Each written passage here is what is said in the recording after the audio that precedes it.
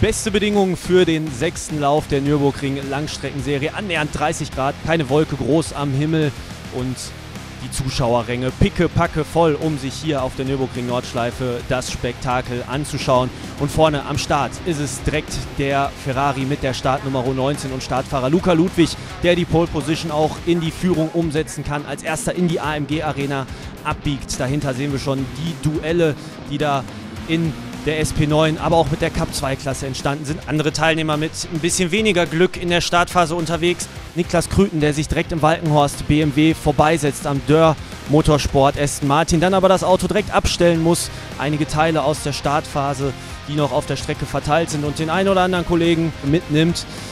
Auch Duelle in den anderen Klassen, gerade die Cup 2 Klasse, hat uns viel Freude bereitet an diesem Tag. Harte Gangart hier, um an der Konkurrenz vorbeizugehen. Die Duelle teilweise auch auf der Nordschleife sehr eng, wie wir auch hier sehen können in der Klasse VT2, die heckangetriebene Klasse. Immer sehr umkämpft. Letztes Jahr haben wir ja da bereits den Meister rausgekrönt.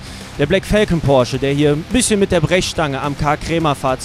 Vorbeigeht. Der Teamkollege ebenfalls direkt hinterher, die 489 von Matilda Racing, der VW Scirocco, ebenfalls gut unterwegs, genauso wie die 187 der BMW M4 in der SP10 am Ende des Tages Klassensieger gewesen, genauso wie die 884 in der Klasse der BMW M2 CS Cup Fahrzeuge.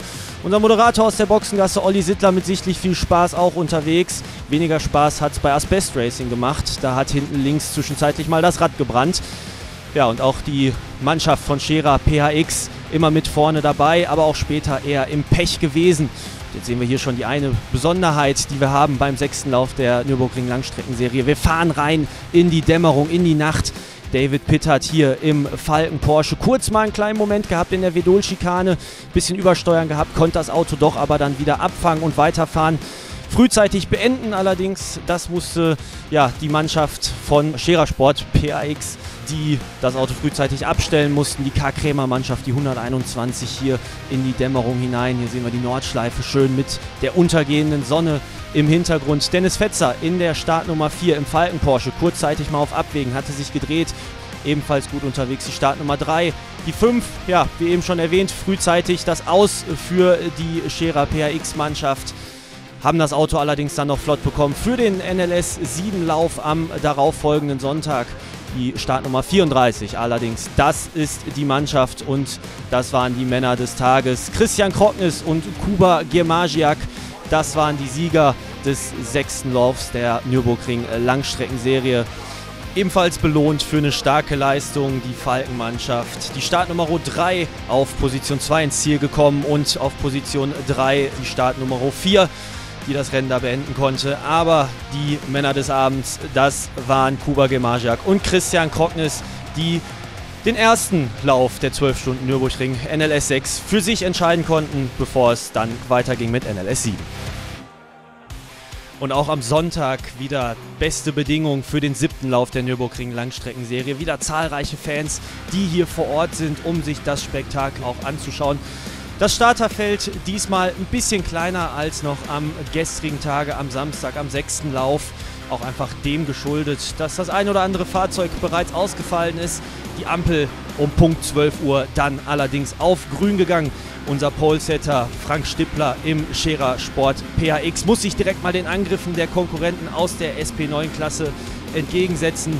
Die 19, der Polesetter vom gestrigen Tag, der Racing One Ferrari hat da direkt mal Paroli geboten und da kommt auch am Ausgang der AMG Arena schon zur ersten kleinen Berührung, aber nicht weiter dramatisch. Das Ganze beide können die Fahrt ganz normal fortsetzen. Und auch nach der Kurzanbindung gab es da nochmal einen kleinen Liebestap von Frank Stippler mit, bevor die Startnummer 19 dann im Bereich Kesselchen vorbeigegangen ist. Und die Cup 2 Klasse war es, die uns heute wieder ganz viel Freude bereitet hat. Viele fulminante Duelle am Anfang und ja, die Startnummer 11, der Schnitzelalm AMG mit Pech in der Anfangsphase. Vorne rechts der Radträger gebrochen, daher ein frühzeitiges Ende für das Auto. Hart umkämpft in der Anfangsphase auch die Cup 3 Klasse hier im Duell die 960 W&S Motorsport mit dem Fahrzeug mit der 949 Sorg Rennsport. Die 959, das Schwesterauto, konnte sich heute bereits vorzeitig in der Cup 3 zum Meister krönen. Die Cup 3, da wird entsprechend noch weiter gekämpft und da geht es auch noch in die nächsten Läufe hinein.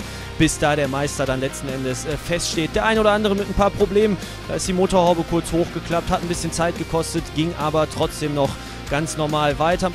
Wer nicht weiter ging es für die Startnummer 5, den Scherer Sport PRX Audi. Mit dem Reifenschaden hinten rechts musste man frühzeitig das Rennen beenden. Auch andere Konkurrenten mit Reifenproblemen bei diesen heißen Temperaturen. Die 807 Halder Motorsport alleine in der TCR-Klasse unterwegs.